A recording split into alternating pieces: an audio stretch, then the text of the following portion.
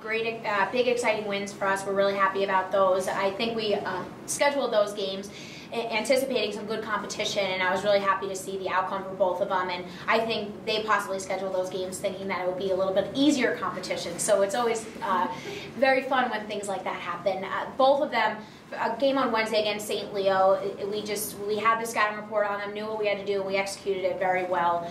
Uh, the game on Friday against Tampa was a, a big defensive win. Uh, Jillian Pfeiffer came up huge. Olivia Hayden next to me had a ton of cause turnovers, draw controls. Um, and obviously, Olivia put up a lot of points on the week for us last week, but uh, Friday's win against Tampa was a huge defensive win, and really excited to see that unit come together that way. So we have Fort Lewis tomorrow, big uh, rival for us. Uh, we played them last year. It's always an aggressive game.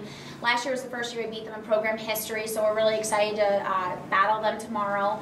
It will be a battle. Uh, they always seem to play their best against us, and we play our best against them. Uh, so I'm excited to see that. They've been up back and forth with goalies a little bit, and uh, they did lose a lot of their key players. Unfortunately enough, we didn't lose a ton of ours. So I, I, believe on the offensive side, we just need to make sure that we possess the ball, control the ball, and on the defensive side, we just got to create a lot of pressure for them. They're, they do not handle that real well. So, um, and then we see Pueblo, which is not a conference game. We already played our conference game against them. We play them Friday night at 7.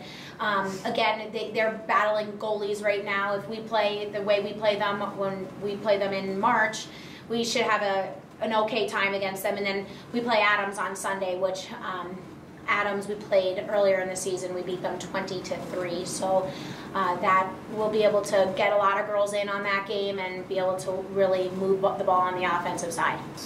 Possession.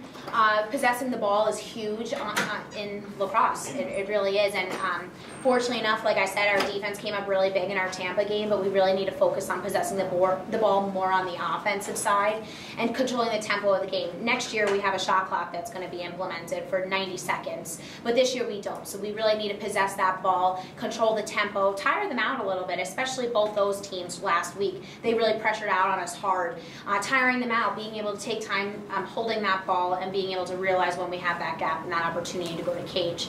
So that was big, and, and really overall just working together as a team and as a unit, holding each other accountable on the field, and uh, but in a positive fashion by just keeping each other positive, helping each other out, but saying, hey, make sure next time you see this opportunity, take it there. Uh, so that, that's the big things that we're really trying to focus on from last week into this week, because we do have, again, three big games this week. Well, for me to be able to do that, I need my team behind me. Not all my goals were off of just me myself. I had a lot of people assist me, and in order to get the ball, we have to win it eventually on the defensive end. So ultimately, it was a huge team win, and I think we started to realize that we are much better than we thought we were, and that we can compete with these teams that maybe they think we were out of their league and under them. But I think these wins really express that, like, we can do it, and we can eventually, hopefully, win the title this year if we all work together like we have been. Definitely. It was a long trip and a little stressful at the beginning, but to end it on two wins was good. And then to come back home knowing that we can have an opportunity to go 4 0 in the last two weeks really is a confidence booster for, I think, everyone. Definitely. I think we have a lot of individual talent. And at the beginning of the season, we've struggled to incorporate all of our talents together. But now we are starting to realize that we can rely on one another and work off of each other's own weaknesses and strengths in order to accomplish what our ultimate goal is.